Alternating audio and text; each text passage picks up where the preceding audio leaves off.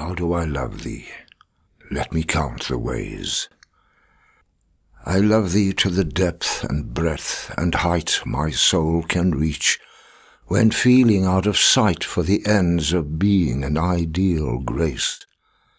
I love thee to the level of every day's most quiet need, by sun and candlelight.